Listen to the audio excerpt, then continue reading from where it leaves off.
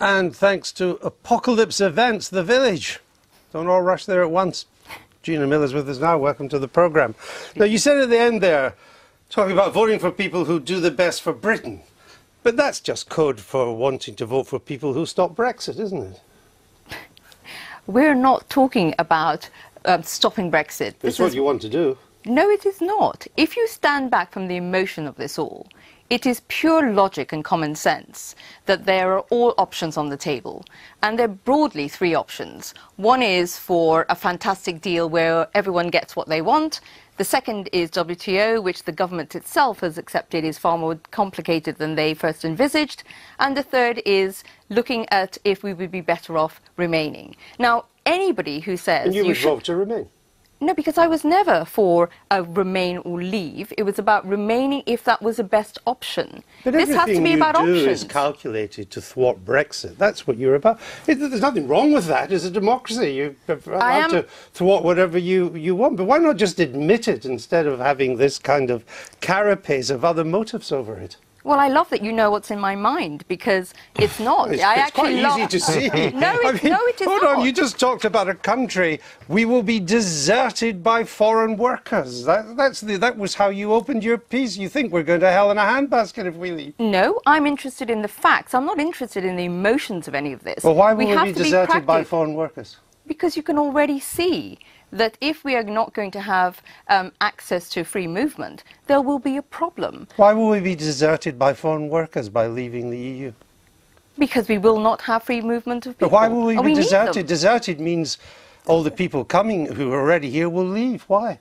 Well, from the experience I've had since I started my court case, there is an air around people in the UK where they feel that How they've been kicked left? in their stud. They haven't left No. yet. But so why, why would they? we be deserted? I mean, the point is that that phrase "deserted by foreign workers," a Britain much poorer, it shows what you really think. It's a perfectly legitimate point of view. But you don't seem to want to be honest enough just to admit that that is what your game plan is. I'm honest enough to say that nobody knows the future. I'm Well, not no, you just said we'll be deserted by foreign workers. No, that is a possibility. And already we're seeing that people are feeling that they're not welcomed here and that then somehow. Who's not welcome here? I get thousands and thousands of emails from people and messages and phone calls from people saying that they feel then they are no longer welcomed. But that's I'm- because you've taken a high-profile position. We all get that. I get lots of attacks on, on things as, as well, and you've No, no, no, no, I've not had attack. I'm not talking about the attacks. No, I mean verbal attacks and, and No, no, I'm not talking on. about the attacks. I'm talking about people's experiences of how they feel.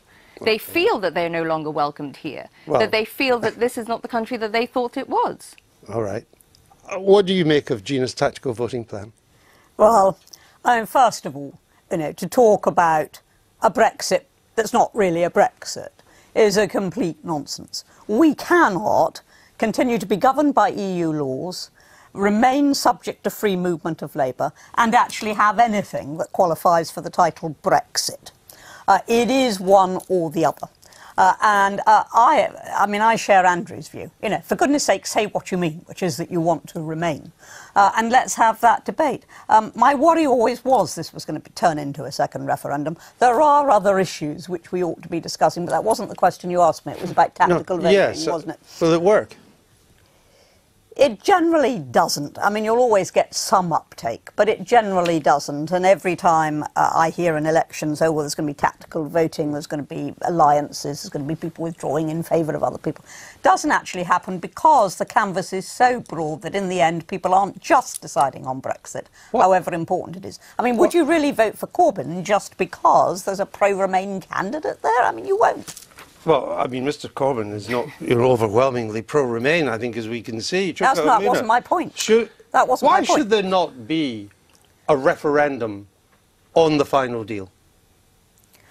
I, I have to say, I'm not the biggest fan of referenda, um, partly because I think people elect members of parliament to give effect to their wishes. And I think we saw with the referendum and the triggering of Article 50 the difficulties for members of parliament when they're juxtaposed against a, a direct democratic popular vote. So personally, I would rather it was members of parliament voting on So it. So it goes to the Commons rather than to, to a referendum, is what? what Yes, because we, you know, we're elected to do a to do a job. Now, I think what uh, Gina's doing is very interesting and actually very helpful in the context of this election for people uh, who, you know, are part of that 48% who want to know where different MPs stand on things. And I think what your project is going to help voters do is be able to uh, identify whether you've got somebody who is in favour of a soft Brexit.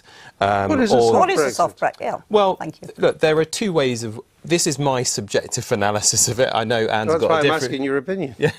Uh, look, there are two ways I think of withdrawing from the EU. You can do it in a quite extreme way, in a job-destroying and livelihood-destroying what's a way. soft What's a soft Brexit? Brexit? Well, my, my definition of Mm-hmm. uh, a soft Brexit would be where we remain a member of the single market. So we- we'd still be subject to the European Free Court of movement of Justice. labour. Yes, but hang on just a Free minute. I think that's that's right, Yeah, that's it? right. But but I, So but- in what way have well, we hang, left? Well, hang on just a minute. Let, let me let me finish.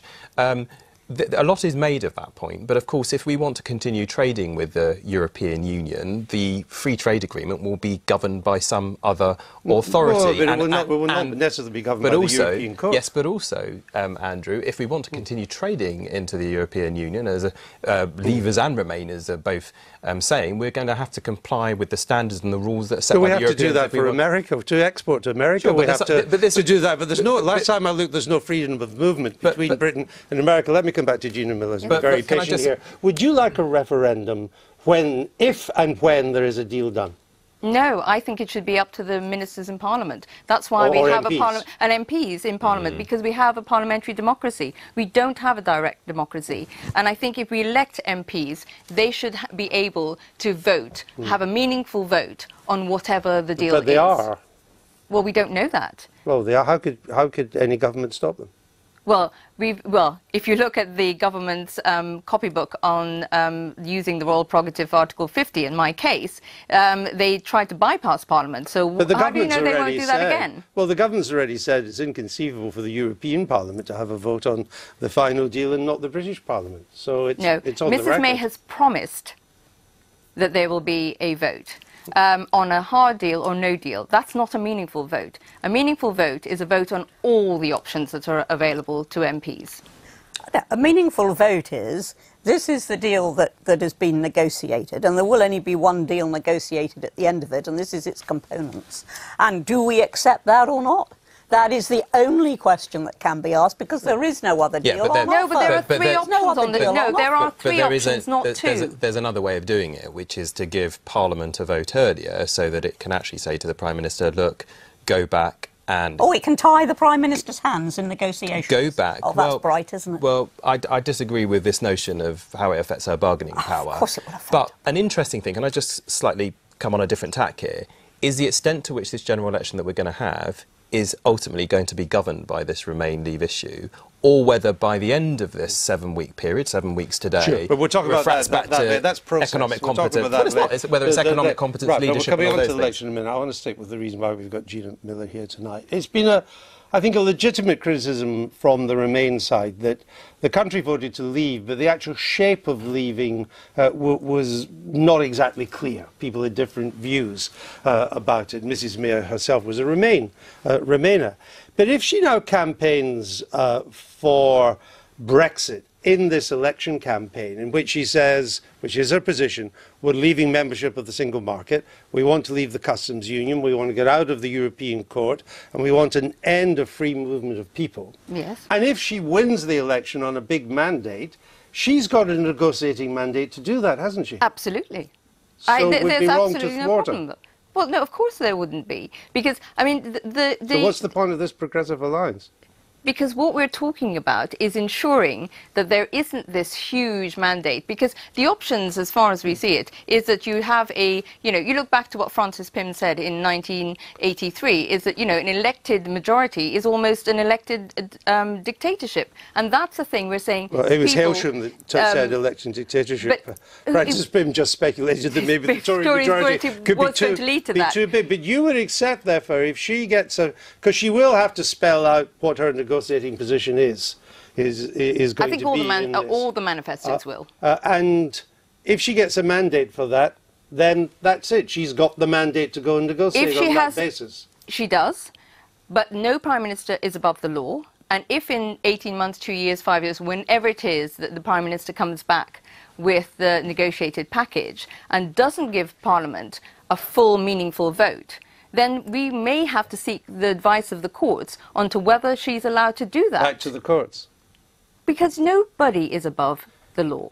Uh, I understand that. Um, but if you turned tinkering or interfering with the democratic process into a rich woman's hobby, Um, when is it my hobby and when is it I'm a rich woman? well, it seems- It's, um, I actually have a significant day job and several other day jobs. Mm. This is not a hobby. I'm a transparency campaigner. I've done this for nearly a decade. And also, is it okay that if I'm rich because I've earned my own money, that I might use it to do no, my I've civic just wondered duty? whether it's become your hobby or not. It's absolutely not my hobby. I'm doing what I think is right. Because when you did the court case at the beginning, you said that I just want the court case to rule that the Commons gets a vote on it. That's all I'm It was about democracy. And you did Absolutely. that. But now you're on to uh, a progressive alliance, and now you're saying I may have to go back to the which is still about democracy. Yeah, but it it is still about democracy. It's given you a new purpose in life, hasn't it?